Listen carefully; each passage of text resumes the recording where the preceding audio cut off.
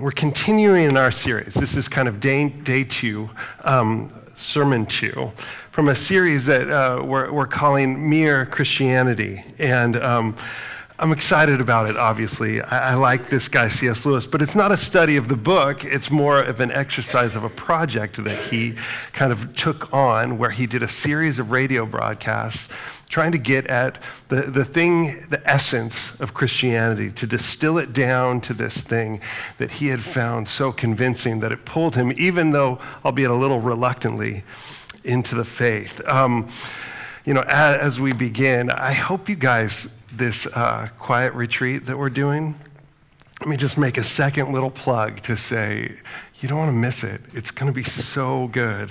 Um, my dear friend, Father Francis, is going to be leading some of our times together, but there's space in it to just be still, to rest, to take a sort of divine nap.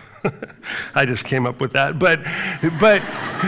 It should be a spiritual discipline, I think, but um, the, the discipline of napping. But um, anyway, it should be just a wonderful time to be uh, filled up, to spend time with God, to spend time with some people in our church. So, um, so please consider that. Um, I'm also sort of, if I'm totally honest, I'm reeling from some news this week that's been difficult. Um, Kelly Slater got knocked out of the WSL for like the first time, like the, um, he didn't make the cut. And see, like he's kind of my age, so as long as he's competing, I sort of still think I got a shot. But um, so it's like a death of a vision for me in all of this. But um, and Bill Dalkey, I know we're grieving that, but uh, it's the way it goes. um, as we shift gears here. Um, this idea of mere Christianity, I, I love the project that Lewis took on with this because he was looking for what he terms the HCF. Remember, we talked about this last week, the, the highest common factor. And um, we would say the highest common deno- uh, denominator in America, but in Britain, the HCF, the highest common factor. Does anybody remember this from math? Right? So I got a little sample problem. What is the HCF of 24, 36, and 84? 12. 12. Right? You're looking for the largest number that can go into all of those things, right? And you see kind of the pro, the, this was the goal to get at the thing that's like right at the heart, the thing that all of these things have in common. And what he did is he, he sent it out to uh, an Anglican and a Presbyterian and a Methodist, and, and he, he basically said, can, can we agree on this? And, and everybody thought, well, I might add something, right? Some would say a higher emphasis maybe on prayer. Some would say maybe with the Holy Spirit. Some might say communion or the Eucharist. But they, they looked at this thing and went, oh no, that's it, right? That's what's at the heart of this thing. And to me, I think not only do I think that's helpful in us kind of finding a place of unity, but I think it, it's often so contrary to how we naturally think. that we have a tendency to look at faith through this critical lens, to see what's different, to judge others based on what's missing. I think we, we swim in the waters of this culturally right now constantly finding what's wrong or what's flawed with the other view, instead of looking instead for where is there overlap, where does it resonate, how can I find unity amongst my fellow believers. And I think that Lewis was kind of unique in his ability to speak into this because he was a fairly recent convert, which meant he knew um, what it was like to be standing on the outside of it. And they asked him at a time where Europe was in turmoil, it was the beginning of World War II, to speak this message of, of mere Christianity, to become a place of stability and for the people there. And I think in our world, sometimes today, we, we feel as anxious or as fractured as ever. And what a time for there to be a project where we look at the heart of this faith, this thing that unites us this thing that we can hold on to. And helpful for us to maybe even back up a little bit and consider, for those of us who have walked this road for a long time, what it, it kind of is like standing on the outside looking in. Getting back, distilling this down to the essence, remembering. It's been said that most of the time we don't need some new idea, we re- need to be reminded of the old ideas that are true. And Lewis, as he talks about his process, I, I, like how he's so honest about his reluctance to come in. That, that he called himself the most reluctant convert. And he says it like this He says, You must, must picture me alone in that room in Magdalen night after night, feeling, whenever my mind lifted even for a second from my work, the steady, unrelenting approach of Him whom I so earnestly desired not to meet. That which I greatly feared had at last come upon me. In the Trinity term of 1929, I gave in and admitted that God was God and knelt and prayed. Perhaps that night, the most dejected and reluctant convert in all England. and it's beautifully written, the, the authenticity of that. But what is he getting at? The, the, the, there was a part of him that had to yield, a part of him that was resisting. And maybe some of you can relate to that in thinking about faith. Uh, that truth comes and, and reality comes upon us, and, and, it's, it's not ours to control or decide. It, it takes a sort of surrender. There's a posture of humility required to grow in truth. And Lewis, he realized that he was wearing this resistance like a suit of armor that he was Im- invited to remove, to, in a sense, lower his guard. And so, as he writes this, as he writes kind of from the outside in, what I love is, is this thought of us kind of entertaining this same thought. Because the world that he sees is the world that we see. And he started with this idea of contingent truth. Now, that sounds like a big term, but it's, it's really quite simple. That if truth is contingent, if, if a truth is contingent, it means it's dependent upon something else. For instance, let's say you walk into your house and you lay your keys down, and then you go into another room and you come back and your keys have moved. Right? You, you start deducing somebody moved my keys. Or Maybe I moved them and I just don't remember where I put them. Maybe there's some sort of ghost that moved my keys. But you know this for sure. Your keys didn't move themselves, right? We know this. That that implies some other truth, something else behind it, something that had moved it. And this is a little bit of a re, kind of a continuation of what we talked about last week, but where Lewis saw one of the first unavoidable contingencies is that we live in this universe in motion, that we all start there. Nan sent me some photos today from an article from space where it's all these pictures of the Earth from a huge distance. This tiny little planet out there moving at, at an enormous speed through the cosmos. We, we all start with this universe, with this reality here. And what we find is a universe that, that didn't just pop out of nowhere. It, it somehow started at some point from somewhere. We know this. I mean, not everybody, I guess, would admit to that. Some might think that it just is possible that this contingent truth is just the baseline.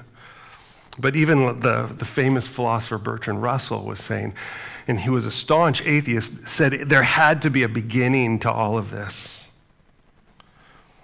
And a lady said to him, No, no, no, we know this, that the universe is sitting on the back of a turtle. Have you heard this story?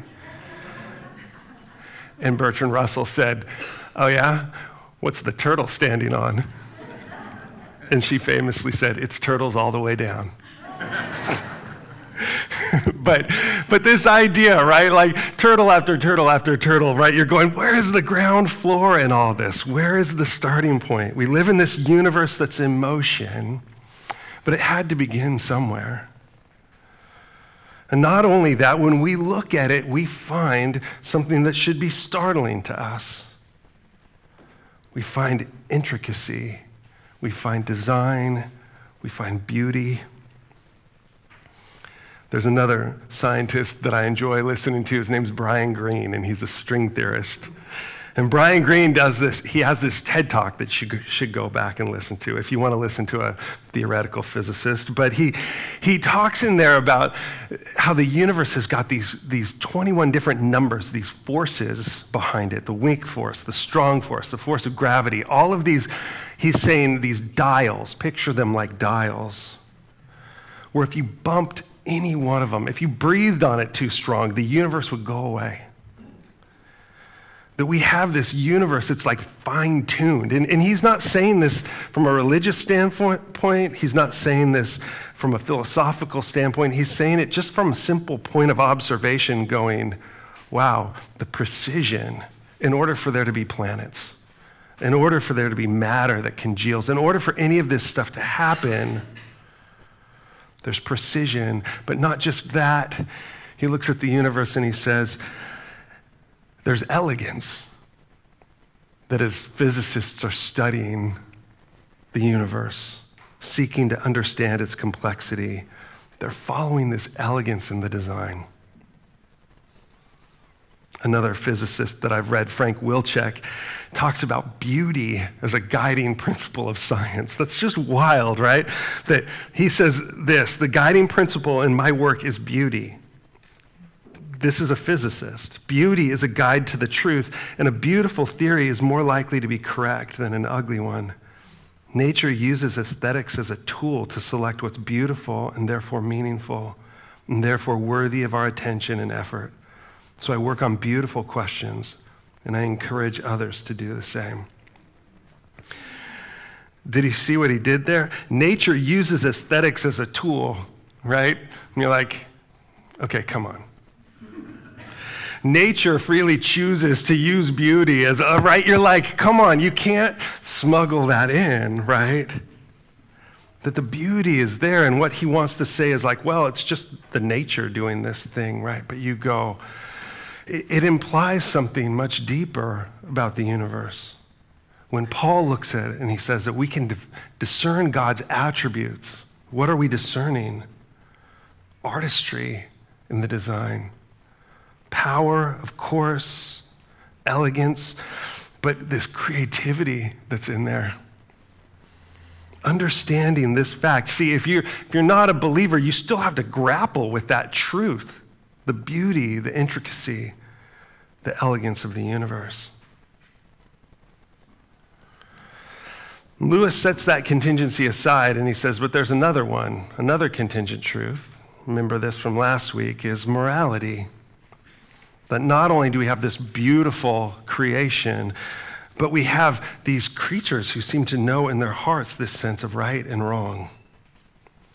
And not just that, but whatever that is, they, they expect it of others, right? It's not just their preference, but that there's somehow some sort of justice or fairness that holds us all in line. And not just that, but they break their rule, right? My example last week was the intersection of Thalia and Glenneyre right? Some of you broke that this morning on your way here, right? Like, I'm just going to go. Forget it. I'm just going to go. I'm justified, right? And you're like, ask that police officer over there, and he's going to be like, you're not, right? This, there's this sort of law out there of morality that holds us in check as well. And for Lewis, this reluctant convert, he's looking at these two things and he's, he's trying to hold kind of these truths at bay. Because as long as he does, he gets to just do whatever he wants to do. He's able to behave freely, he's not held accountable. But he's realizing no, if these things are true, then there's a sort of behavior that's expected of him, a way that he needs to respond. Paul, another reluctant convert, puts it like this in Romans 2. He says, Therefore, you have no excuse, O man every one of you who judges. For in passing judgment on another, you condemn yourself, because you, the judge, practice the very same things. We know that the judgment of God rightly falls on those who practice such things. Do you suppose, O oh man, you who judge those who practice such things and yet do them yourself, that you would escape the judgment of God?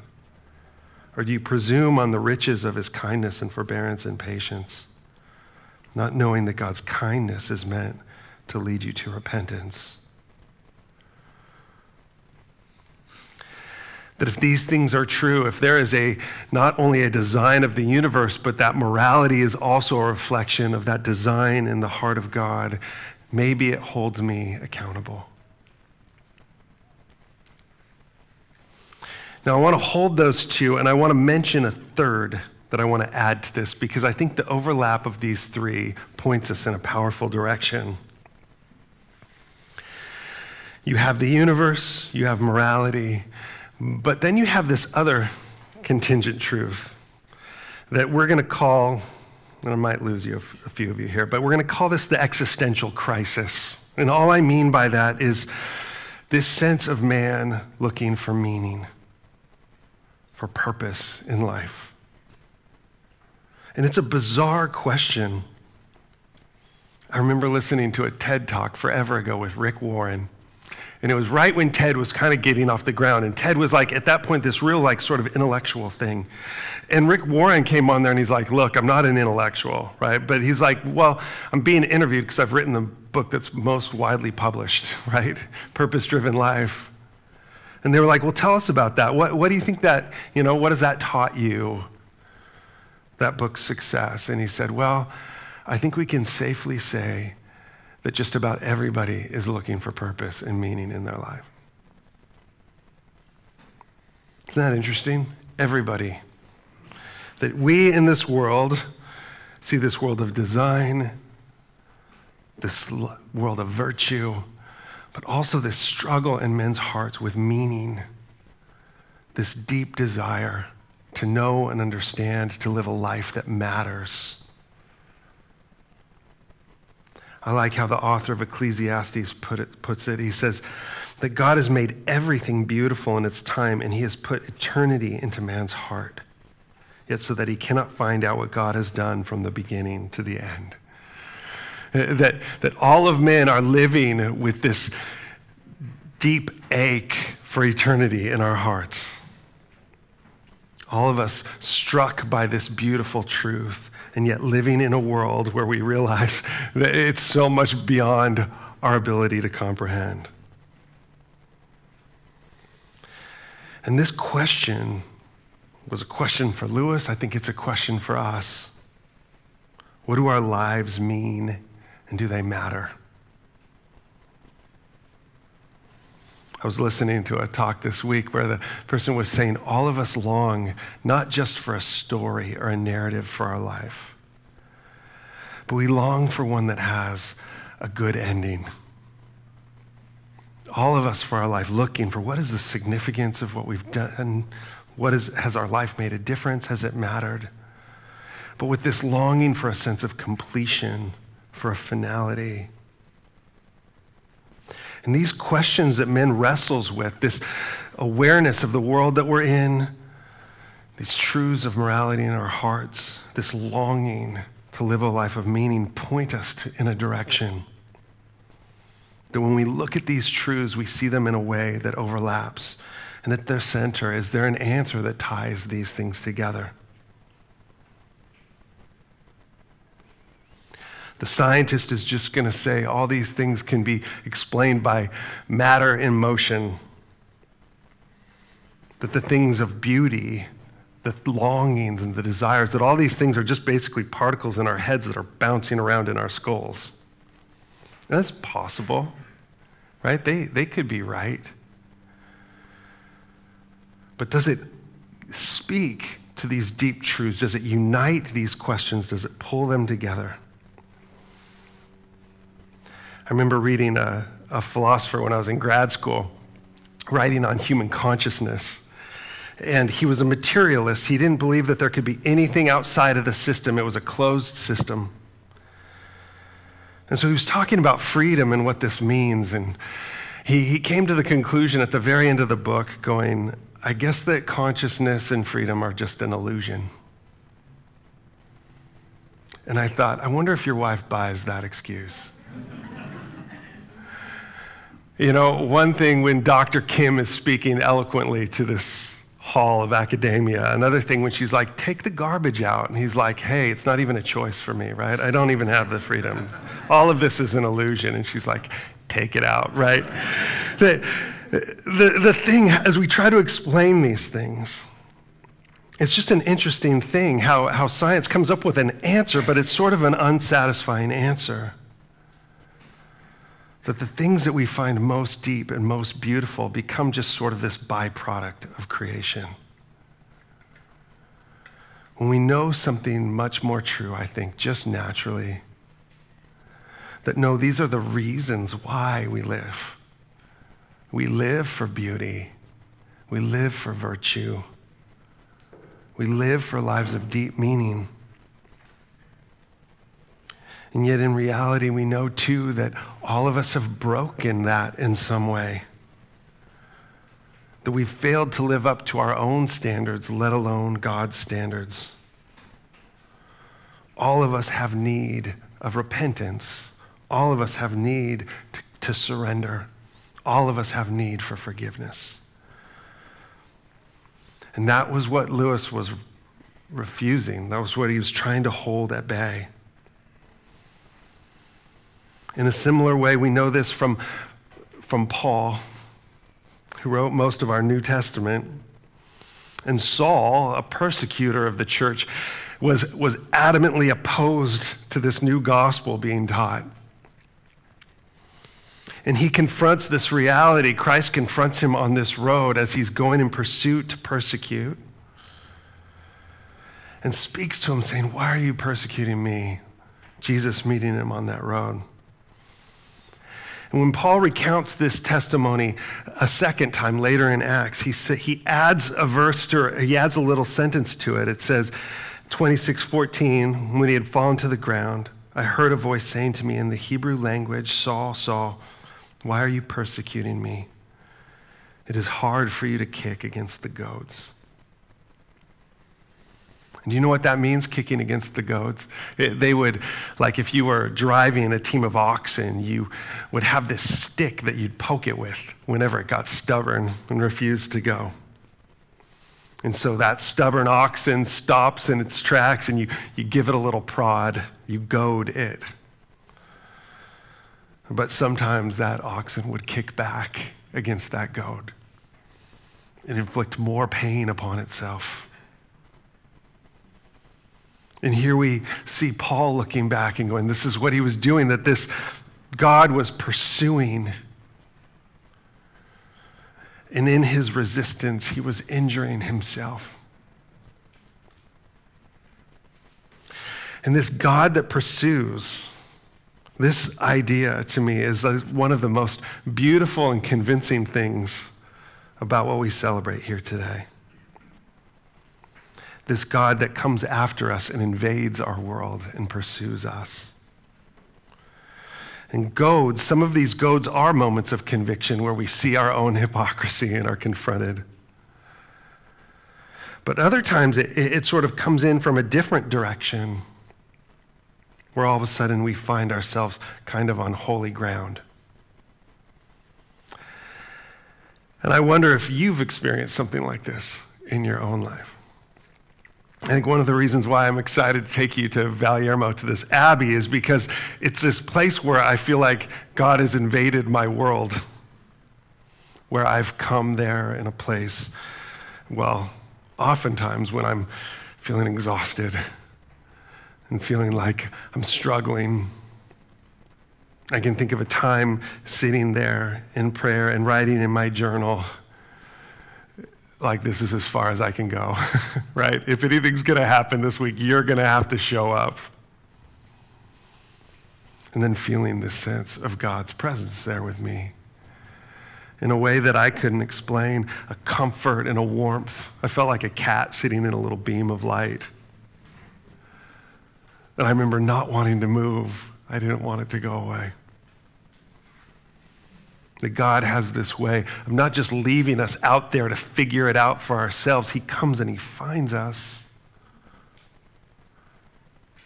I remember leaving there to go meet with some friends for prayer and afraid that like as I got up to move that I was going to leave that presence behind and yet it came with me as I went.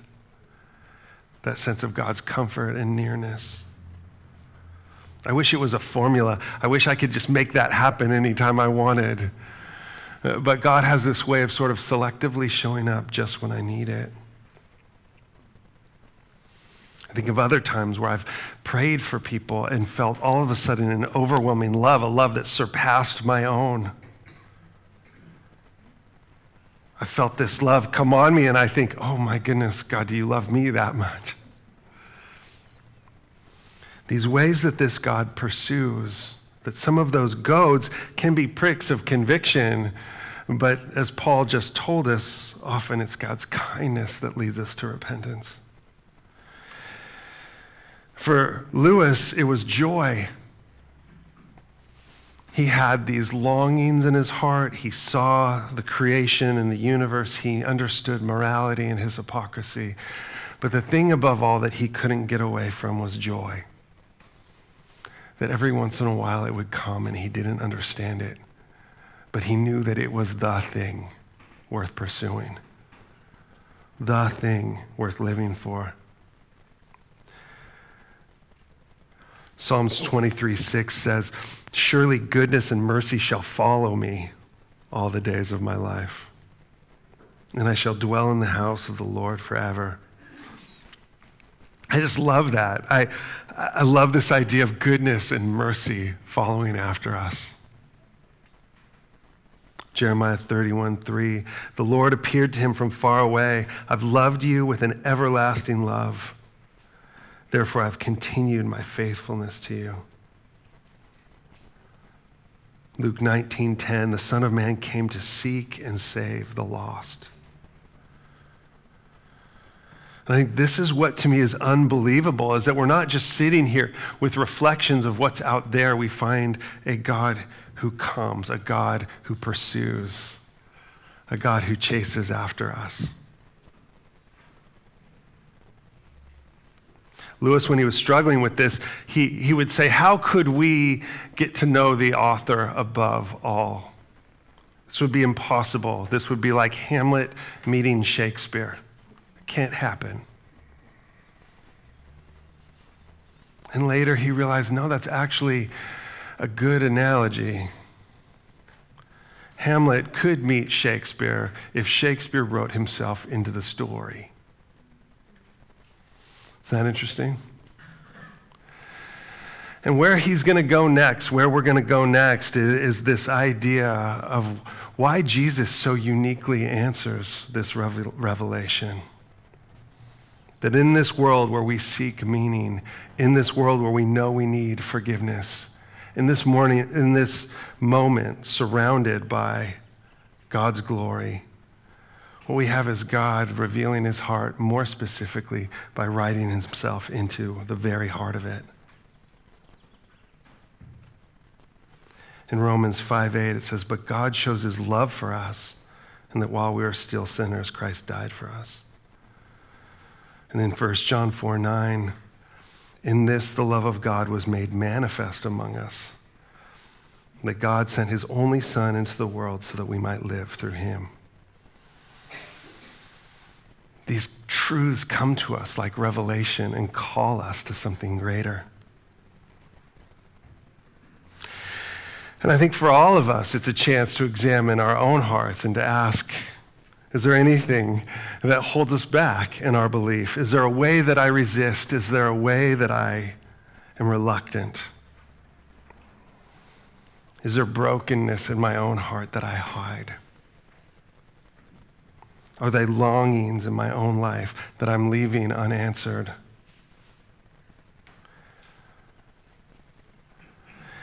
And as we go further into this mere Christianity, we're going to get right to the heart of this in Christ and what he did, how God so brilliantly answers this.